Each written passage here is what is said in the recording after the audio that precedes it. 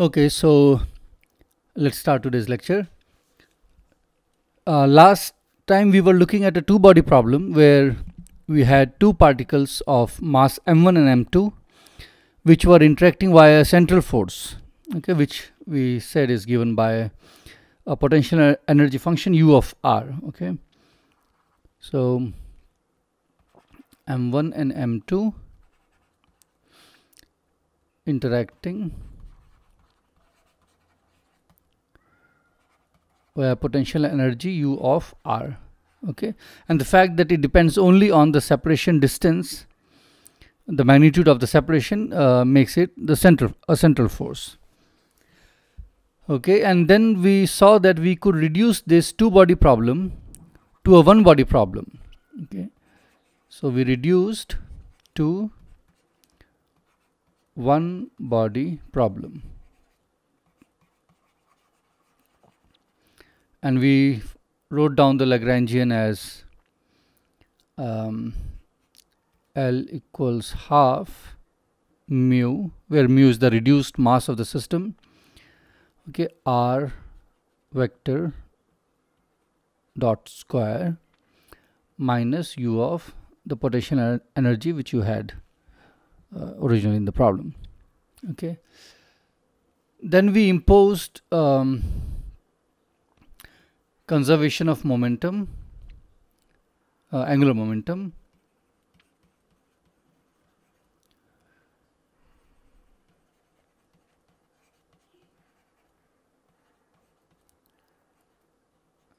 Okay. And by using uh, only the fact that conservation of L implies two things. First that the direction of L is going to be fixed it is not going to change. And second that the magnitude is not going to change. So using only uh, the first thing that the direction does not change we could say that the motion happens in a plane. Okay the motion will be planar.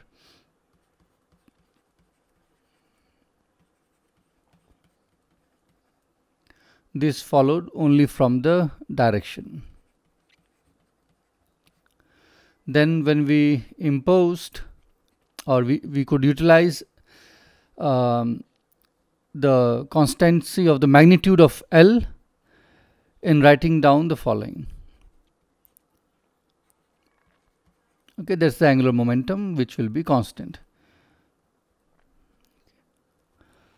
Okay and then we could also show that for a central force field the Kepler's second law holds true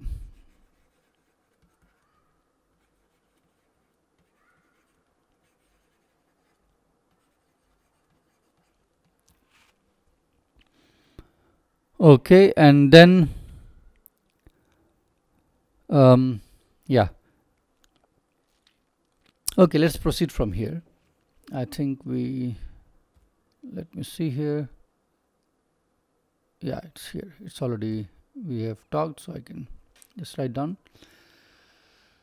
So now let's continue with today's um, uh, next steps now because the motion is happening in a plane which I have established based on the conservation of angular momentum I can write down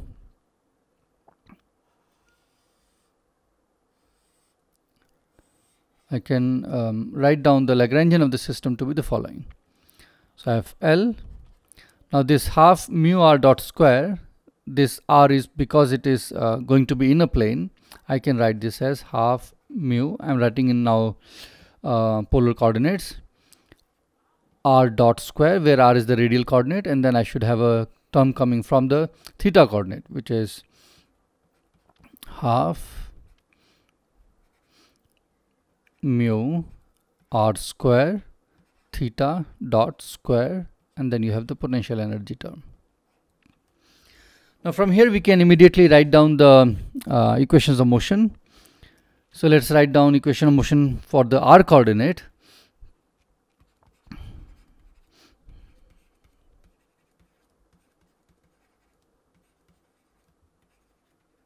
Okay, so we have to calculate d over dt del L over del R dot minus del L over del R and this will be 0. So if you calculate these you will find the following. So you get uh, del L over del R dot will give you a mu R dot. It gives a factor of 2 which cancels here. Okay, and when you take a d over dt, it gives you mu R double dot. Then you have del L over del R and both these two terms have R dependence. So from here you will get, so you have a minus which brings a minus here. R because it's square it gives a 2, 2 cancels, you have mu R theta dot square. Okay, then the minus sign will cancel this minus sign and you'll get a derivative of u.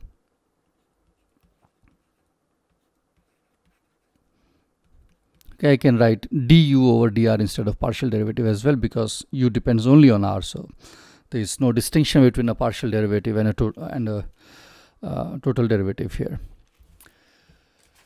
Anyway so um, now we can substitute what we had for theta this equation okay in here and obtain the following. So we substitute and we get mu r double dot minus L square over mu r cube plus delta u over delta r equal to 0. Okay, so I have removed the theta dot from this equation of motion and now you see this is purely a one-dimensional equation of motions. This is a equation of motion of a system with one degree of freedom and that is only r. Okay, the real system is uh, still um, moving in a plane, so it is described by theta. But if you look at the r coordinate, it, it is like a one-dimensional system. Okay, and if you have one, we have already talked about one-dimensional systems and how to solve them in in general. So we can repeat the same steps and if you recall, it's um, easier to start with the first integral which gives you the energy. Okay, and from there you can make several observations and that is what I'm going to do now.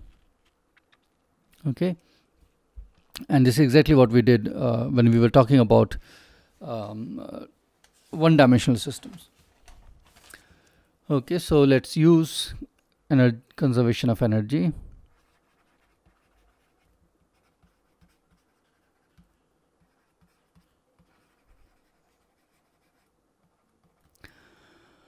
Okay and what the conservation of energy says it is that the kinetic energy plus the potential energy is equal to the total energy. And the kinetic energy here is half mu r dot square.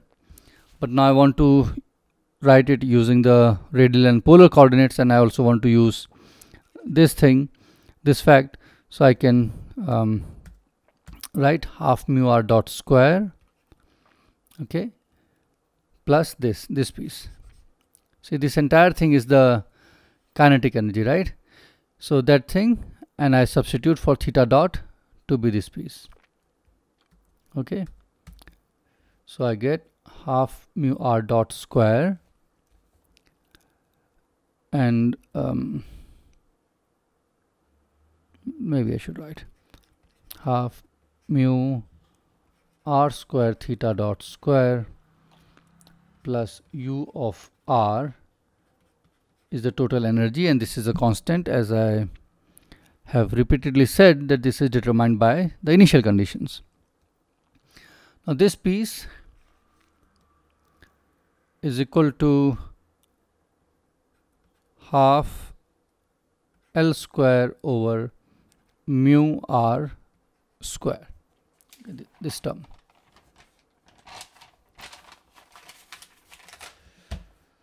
So with that I can write the following. I can write my uh, equation of energy conservation in the following manner. So I write half mu r dot square plus half L square over mu r square plus U of R is equal to the total energy. Again, as you, sorry, should be dot square. This is the centrifugal term here. Now I will um,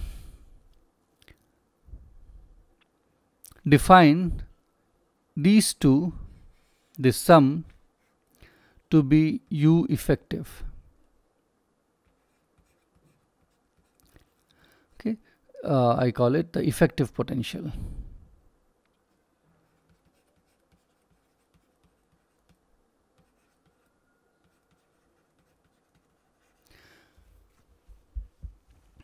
okay so we have you understand right why I call it U effective because effectively the potential now is the sum of these two and not just U if you look at from the point of view of the coordinate R okay that's why I give it a name U effective and um, good so we know what we should do to analyze this problem we remember last time when we were talk talking about a one-dimensional system we plotted u of r.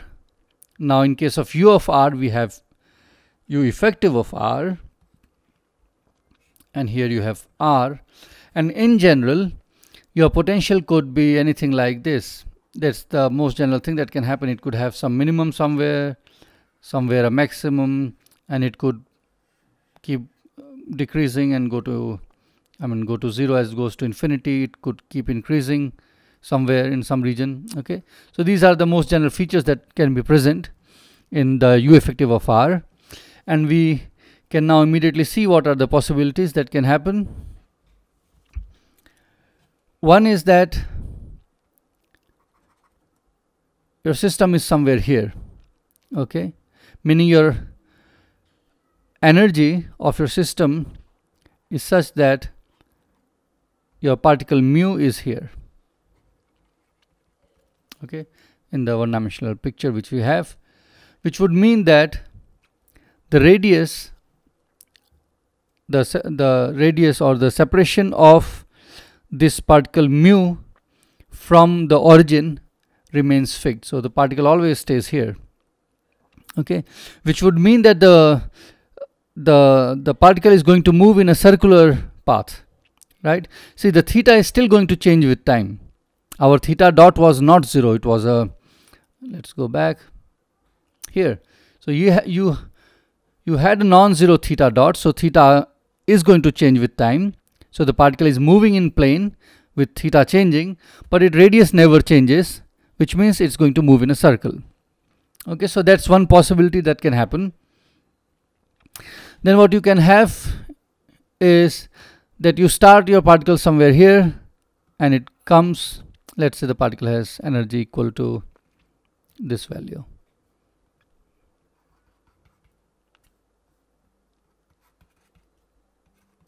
If your particle has energy this much, then if it has started from this direction, it, it is coming, it will hit the turning point and return back and it will go to infinity and would never return again. Okay, that's one other possibility.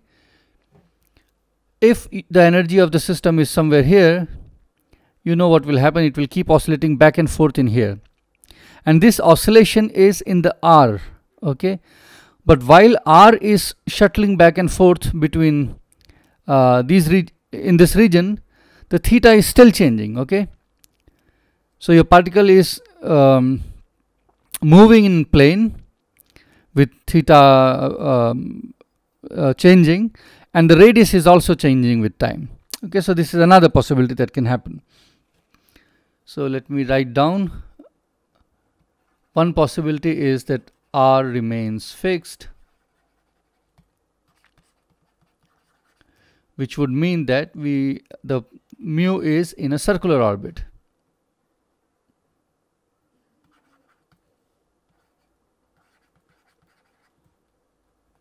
is in a circular path okay or the R may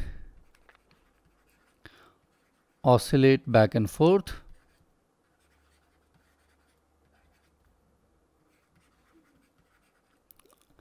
But this does not mean that particle is moving in a line. It just means that in the r direction it is um, its r value is increasing and decreasing with time but at the same time it is also uh, moving in the theta direction okay? So it's not just an oscillation in one dimension that's not the case and third is r may uh, keep increasing with time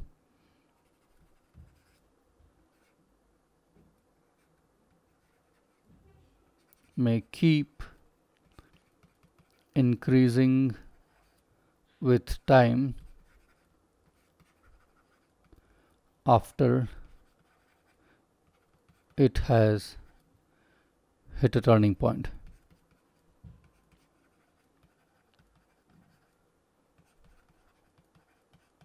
Which was the case here for this one. Okay, and um, this is what in general will happen. Now, in order that uh, we say more, we need to know the form of the potential. Okay, and then we can uh, analyze the the motion in more detail. So we are immediately um, faced with asking what are the different central potentials that are possible. Well, it's and there is an infinity of potentials that we can write, but some of them are fairly um, simple and common. So you could have a central potential which looks like half k r square. Now this is your Hooke's law which holds true for um, small displacements in general but let's say I say that this holds true for all r.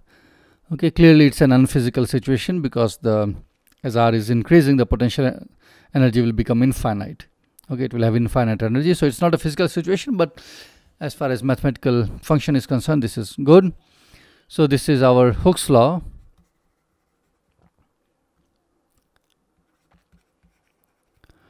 Okay.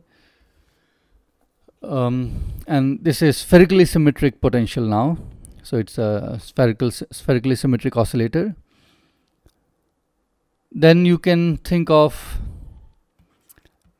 inverse square laws. So where the forces are decreasing as 1 over r square which means that the potential is decreasing as 1 over r okay this will correspond to for example um, gravitational potential or coulomb potential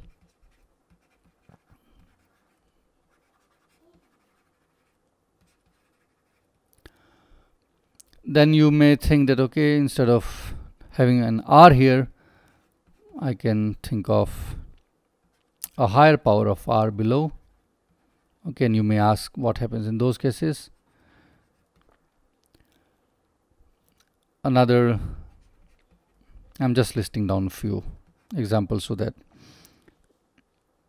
we keep in mind that there are several different center potentials that can be imagined.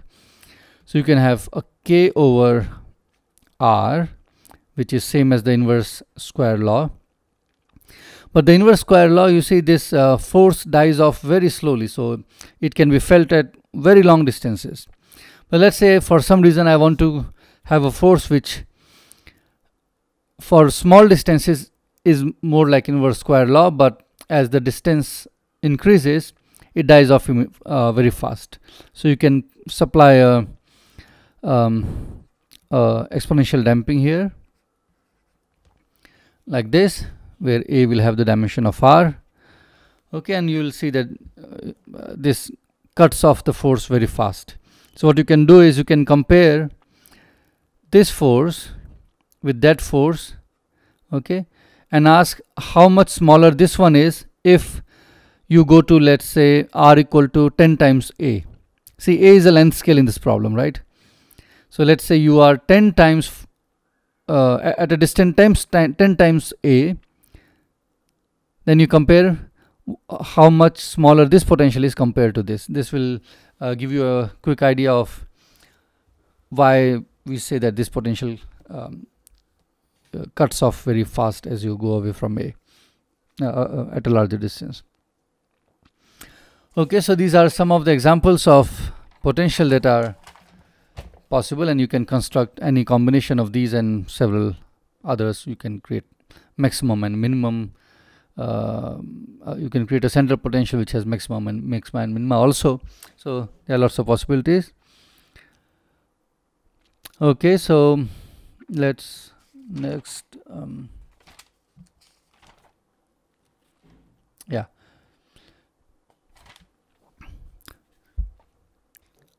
Okay that's fine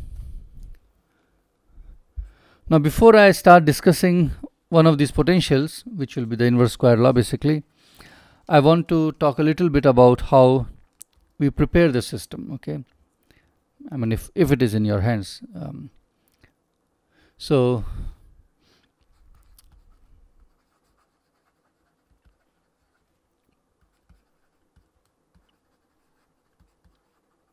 or equi equivalently the initial conditions.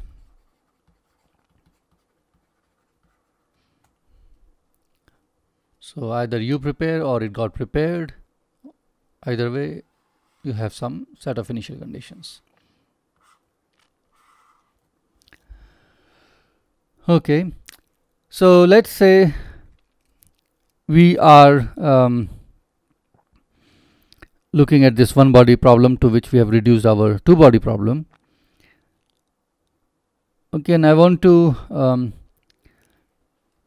uh, uh, have my system to have a total energy E, some number which I choose. Okay, so the situation is this. We have a plane in which the particle will be moving, and clearly I've chosen a plane which means that my angular momentum will be in this direction. Some L. I have not chosen the L yet but I have I know that this will uh, the direction I have chosen okay. And let's say this is the origin. O where R is equal to 0 and let's say I want to start here. Okay. Some point R. Let's call it R naught.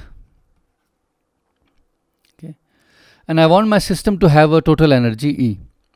Now if it is here, it will have some potential energy U of R0, right? Now if I um, want to have this number E as the total energy of the system, and I'm saying that I'm going to start my particle here, it already has a uh, potential energy U of R0 okay. And this is this difference gives you gives me half mu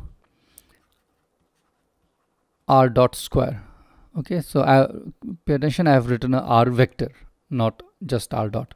Okay. And this at r0 okay so which means that I know or I can calculate from here with what velocity I should fire the particle at r0 okay so if I uh, calc um, calculate this find the number the velocity from this then I should fire my particle okay with the calculated amount of velocity if I do so then my system is going to have the total energy E which I wanted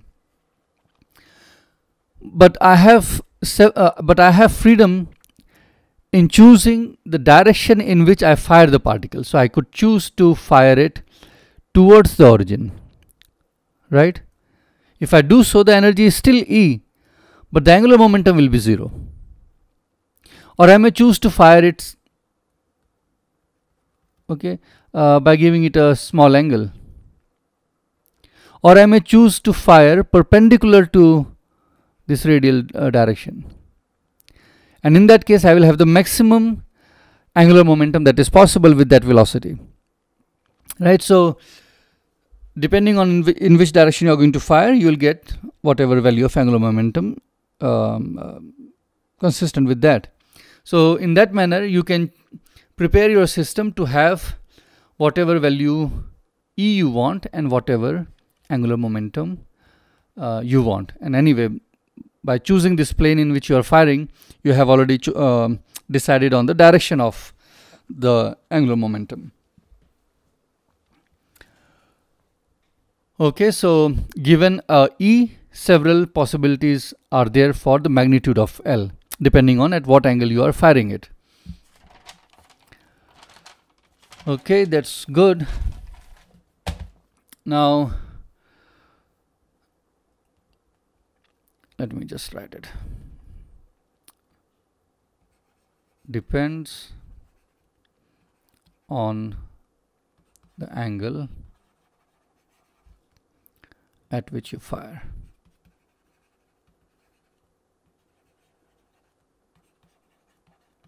The particle mu.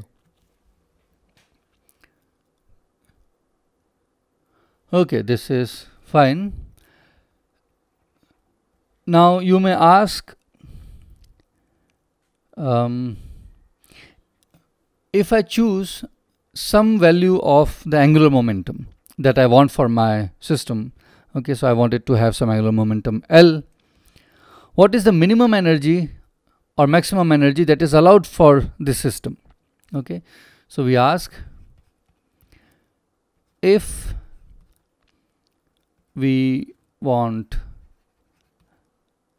uh, angular momentum to have value L, what are the minimum, what is the minimum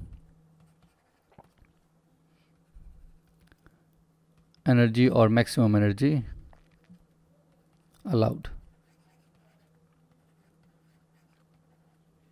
Okay. So E could be anything. I mean, the upper limit is not um, not bounded because even if you have very large energy, you may fire it very close. Uh, I mean, it you can fire it almost in the direction of origin. If you do so, then you can uh, make the angular momentum small okay so that way you can offset the largeness of the energy to make small l. But the lower limit is of course um, it has a there is a lower limit on the energy and that is what we want to see how. So the lower limit is this. You have um, E the total energy E is equal to half mu r dot square not the vector plus u effective you remember u effective has two pieces. One is the potential energy of this interaction plus the centrifugal term okay coming from the um, motion in the theta direction. Let me just show you once more here okay. This is the u u effective. And also note that the this piece which is coming here is positive. It's always positive but u of r this could be negative also because there may be attraction. Okay. So there is a L dependence in here in U, U effective. And let's say you have chosen some L. We want to know what is the minimum uh, minimum total energy that is allowed for the system to have. Okay. And clearly the minimum energy this can have is the minimum of this provided I can put the r dot to be 0 okay? So the E minimum you get the E minimum to be equal to U effective minimum. Okay? So if your particle comes to uh, not rest because rest would mean that particle is not moving but r dot equal to 0 does not necessarily mean that the particle is coming to rest. It just means that the particle has come to a turning point. Okay let me emphasize this. So you see here if the particle is let's say coming from this direction and going when it reaches here the r dot will be 0 okay because it has to turn now. But it does not mean that the particle is has come to really rest at rest because in the plane it is it will still have some uh, theta dot non-zero. Okay? So these two are different things. So anyhow um, the minimum energy that the particle can acquire is equal to the minimum value of u effective. Okay? It, it cannot go lower than that because going lower than that would mean that this piece has to become negative which is not possible because it's a it's a square of a real number which will be positive. Okay so that's the constraint we have. Okay now um, with this understanding let's look at Kepler problem now which is basically taking a inverse square law force which uh, is applicable for gravitational force for example and that's what we will study now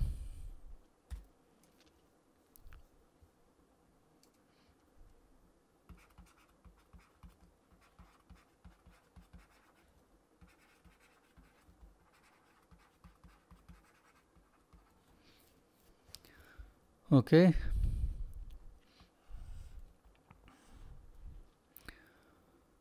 so let's write down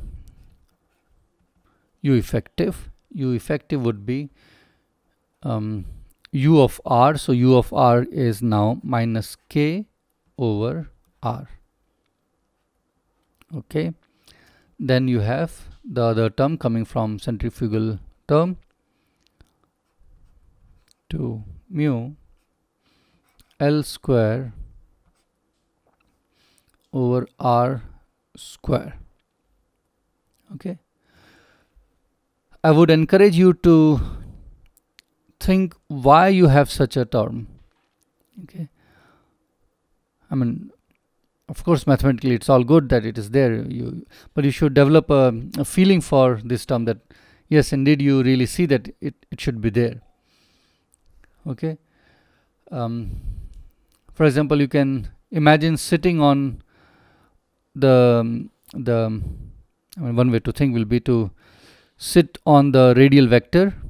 And let's say you are the observer ob observer which is sitting on the radial vector which connects to the point uh, mu okay the, the particle mu.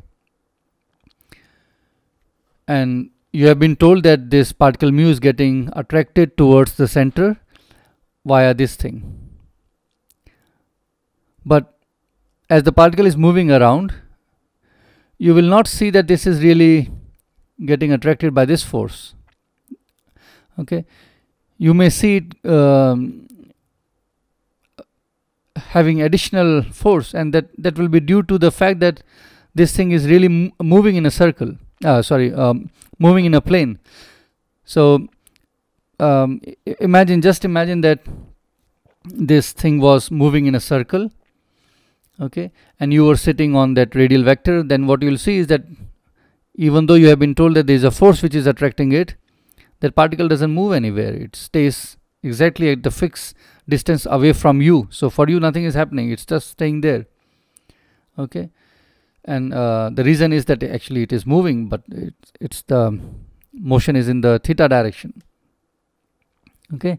So from your point of view you will think that there is another force which is balance, balancing that um, that attraction um, towards the center. Okay? And that there is another fictitious force and which is this one. Okay? So anyhow that's our effective potential. And to say anything about the motion we should draw a diagram like this for the Kepler problem so the first thing you should ask is, are there any maxima or minima? So what is the structure of U effective? So first thing is, let's find, are there any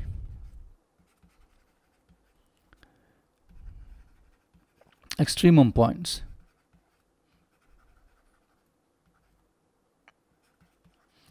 And if they are there, whether there are there is a minimum or a maximum or if there are many maxima or many minima or both kinds are present that is what you should ask. So you can check immediately uh, the following that if you take the first derivative and equate to 0 you get a non-zero I mean you you do get a solution and this happens at r naught equals L square over K mu. So there is a potential candidate for an extremum. uh, please check this then also let's calculate the second derivative to know the nature of it so if you calculate uh, this quantity at r equal to r naught you will find that this turns out to be mm,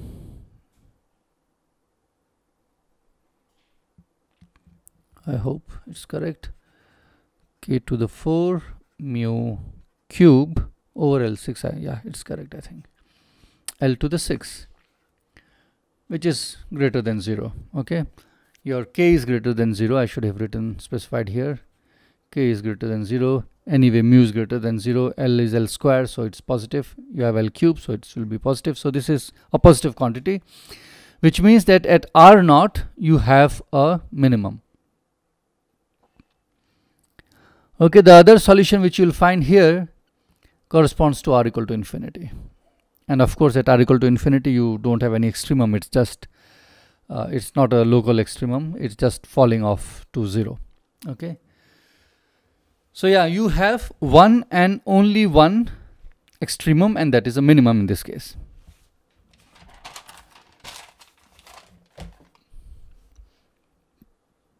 So for L equal to 0 there is see in, in this derivation I have choose uh, taken L to be non-zero. So for L sorry for L not equal to 0 there is only one local extremum which is a minimum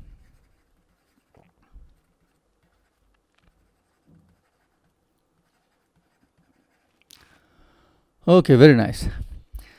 Now you know that at a point R naught, um, which is this, you'll have a minimum. Then you know that your U effective goes to zero asymptotically as R goes to infinity. Then we also know, what do we know? Mm, yes, that uh, as r goes towards 0 your uh, potential will blow up and it will blow up uh, in the positive direction because this will blow blow faster than this one okay so uh, for very small r really towards 0 you can forget this one and this one will be the one which will uh, control the behavior of u effective so this is the kind of um, graph you expect for U effective for the Kepler problem.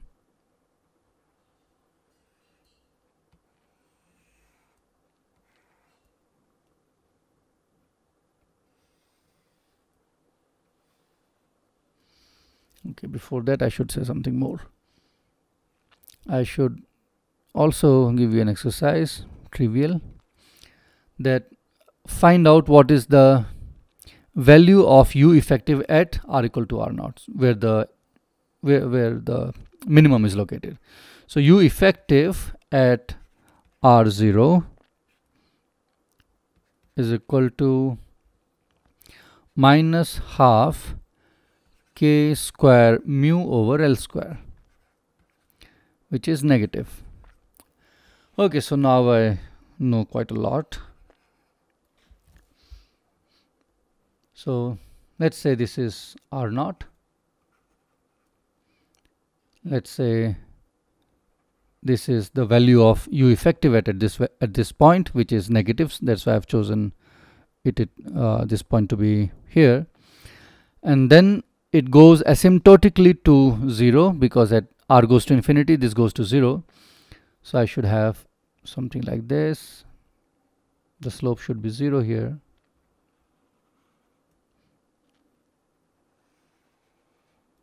okay it should go to 0 not looking very nice uh, let me do it again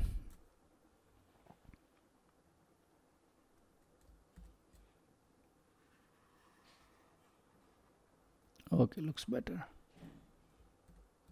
Oh.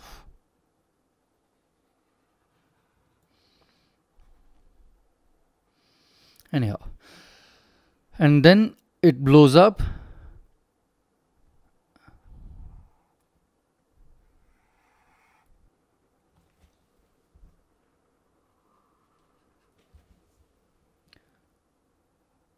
Okay.